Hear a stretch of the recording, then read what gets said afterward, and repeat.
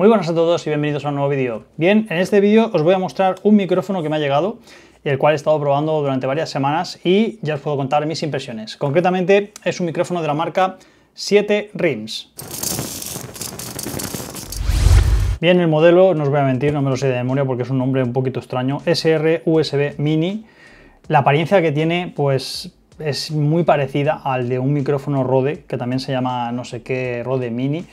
Pero me ha gustado, ¿eh? tanto la apariencia como el puntazo por el tamaño que tiene y el peso, como luego el sonido. ¿eh? Bien, puede ser que a lo mejor los que estáis escuchando este vídeo con auriculares escuchéis un ruido de fondo, es el aire acondicionado que aunque lo tengo al mínimo hace algo de ruido.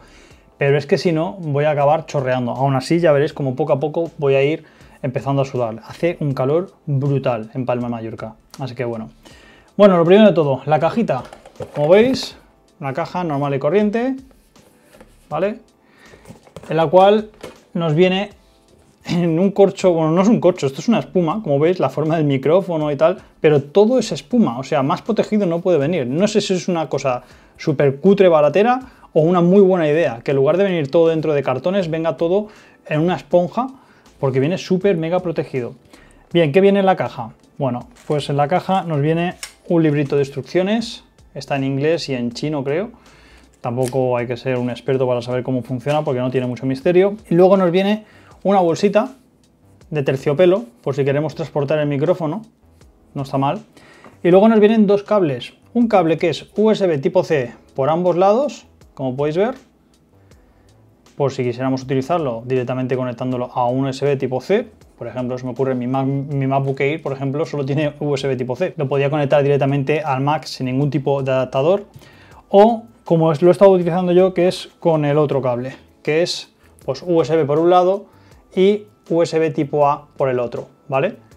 Así es como lo he estado utilizando yo, ya que lo conectaba al, al Mac Mini y me iba mejor así, más que nada porque no me quedan USBs tipo C libres, ¿vale? El cable, 2 metros, o sea, es un cable muy largo, ¿eh?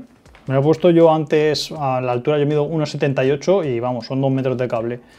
Así que bastante, bastante larguito. Y el del USB tipo C también. La textura normal, tiene una textura de cable normal y corriente, no es que sea trenzado ni nada. ¿Y qué más nos viene? Pues esta cucada de aquí. O sea, me parece súper bonito, ¿qué queréis que os diga? Me gusta mucho, tío. No había tenido ninguno así de este aspecto. Y si os fijáis, es bastante pequeño. Os lo voy a comparar ahora con el del gato. Aquí tenéis el micrófono del gato, el Wave 3, y aquí tenéis el 7 Rims. Como veis, es bastante diminuto. Pero suena muy bien, ya lo veréis, ¿eh? Ya os digo. Este aún no lo he probado, ni siquiera. Lo tengo por aquí y solo he comprobado que funciona. Aún no he hecho ningún vídeo con él. Bueno, ¿qué tenemos en este micrófono tan cuco? Bueno, pues si vamos a la parte de adelante, tenemos una ruleta que sirve para poder subir y bajar el volumen de los auriculares que le conectemos aquí atrás para poder monitorizar nuestra voz sin ningún tipo de retardo. Ya que estamos en la parte de atrás podéis ver la conexión USB tipo C. Ahí es donde se conecta para que le llegue energía al micrófono y funcione. Y en la parte de adelante, justo debajo de la ruleta, tenemos un botoncito que cuando está en marcha pues se pone en azul y cuando le das se pone en rojo para que sepas que has muteado el sonido. ¿Qué más tenemos? Bueno, pues poco más. Aquí abajo no hay nada y lo que tenemos en los lados son pues estas dos piezas para poderlas aflojar y que esto gire más flojo o más fuerte, tanto de una como de otro. Así bailaría un montón. No te puedes columpiar porque si lo tienes enchufado y lo pones así, el cable te va a pegar aquí, en la base. Así que lo puedes mover, pero tampoco muchísimo. Y luego pues lo aprietas a tu gusto, lo fuerte que tú quieras tenerlo, ¿vale? ¿Qué más tenemos? La base, ¿no? Como veis es una base todo de metal. Y la base abajo tiene un poquito de superficie antiadherente, no, al revés, adherente, como una goma, ¿vale? Este micrófono lo podríamos utilizar en otro trípode, por ejemplo, más largo, o bien en un brazo de micrófono. Simplemente lo que tendríamos que hacer es desenroscar la parte de abajo, como podéis ver. ¿Veis? Y aquí tenemos una rosca normal y corriente. Ahora veis cómo yo lo pongo en un trípode y en el brazo de micrófono para que veáis cómo se puede hacer, ¿vale? Así es la rosca.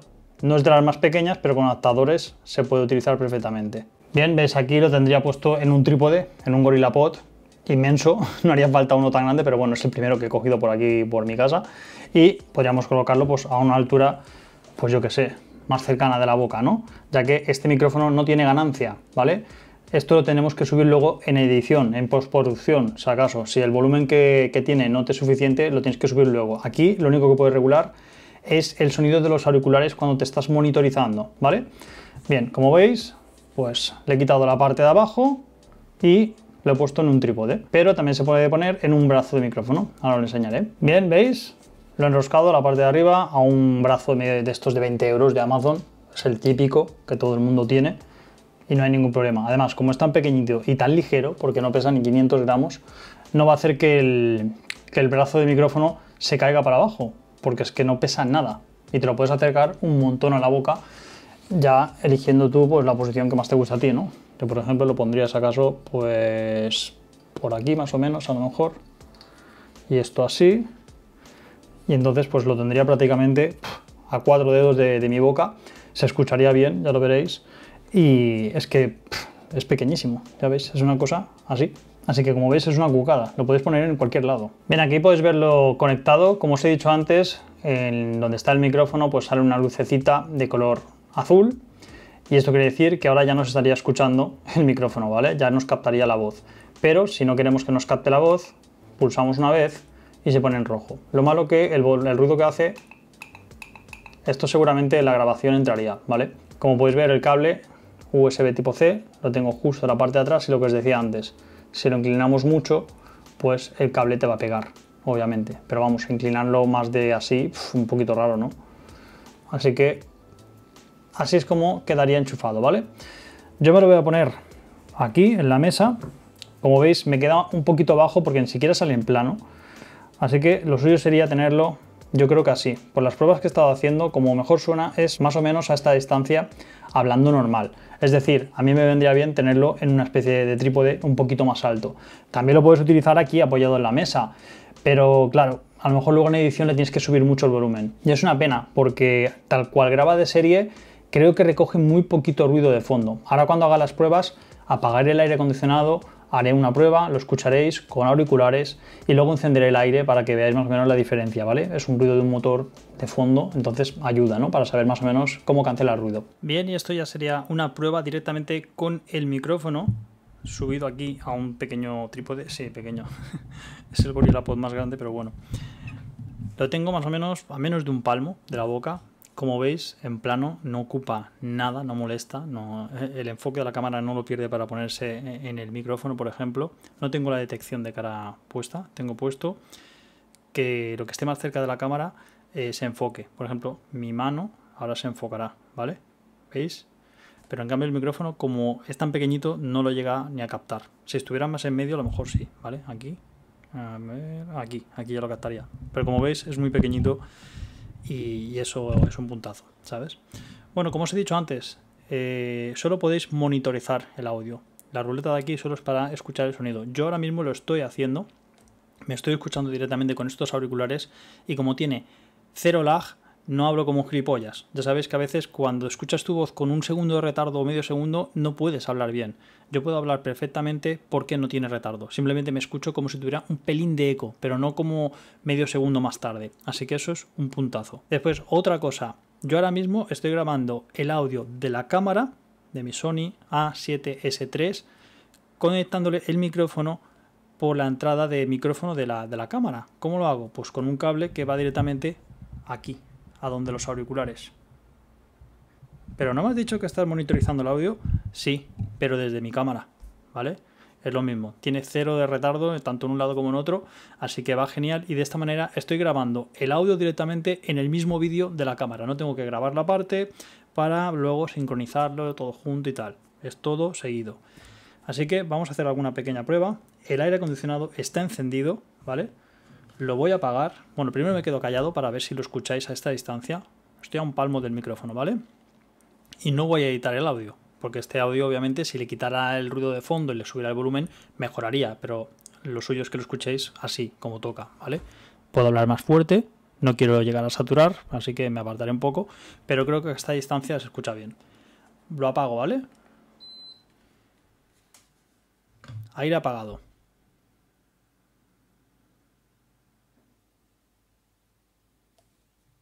Silencio absoluto.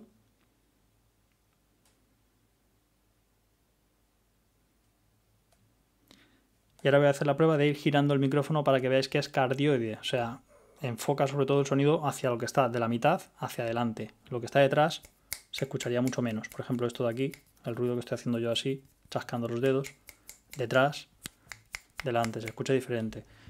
Yo ahora estoy hablando, voy a darle la vuelta, probando, 1, 2, 3, probando, 1, 2, 3, probando, 1, 2, 3, probando, 1, 2, 3. Estoy justo en la parte de atrás y se escucha mucho peor. Y ahora cuando le damos la vuelta, probando 1, 2, 3, probando 1, 2, 3, probando 1, 2, 3. Se escucha mucho mejor. Ya os digo, es súper simple, no tiene ningún ajuste, así que mmm, es bastante fácil de utilizar. Lo conectas al USB para que tenga corriente o para grabar directamente en el ordenador y lo detecte ahí.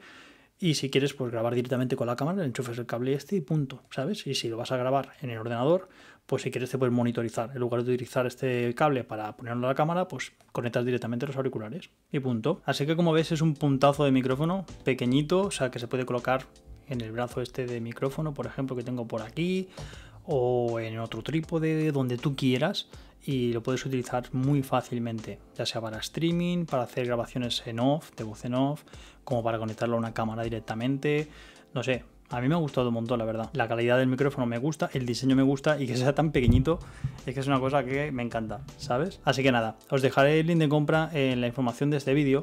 Lo que pasa que actualmente cuando yo estoy grabando el vídeo solo hay stock en Amazon de Reino Unido, creo. Así que os dejaré el link de ahí. Y es que encima me parece que no tenían stock. Pero bueno, como sabéis esto va cambiando, así que yo estaré atento a ver si sale en Amazon España para cambiar el link.